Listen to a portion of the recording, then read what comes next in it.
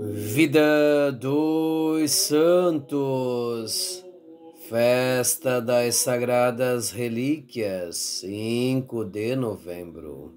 O protestantismo pretende tratar como pecado a veneração que a Igreja presta às relíquias dos santos e defende que essa piedosa prática é um resquício do paganismo.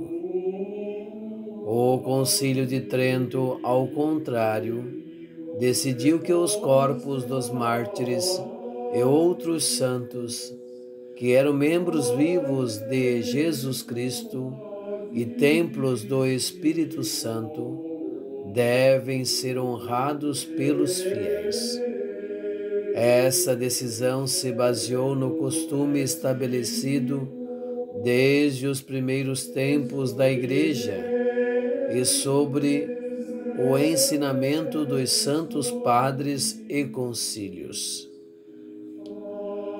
O Concílio de Trento ordena, contudo, que se deve evitar com cuidado todo e qualquer abuso dessa devoção e proíbe que quaisquer relíquias sejam expostas sem aprovação dos bispos e recomenda que esses prelados instruam fielmente o povo na doutrina da Igreja sobre o assunto.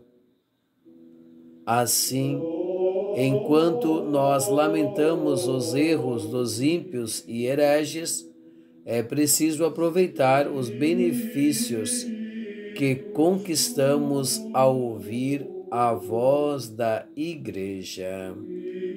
Outros santos do dia, Santa Bertila, São Galacião, São Martinho de Porres, Beato Gomidas Kilmurgien Revaler,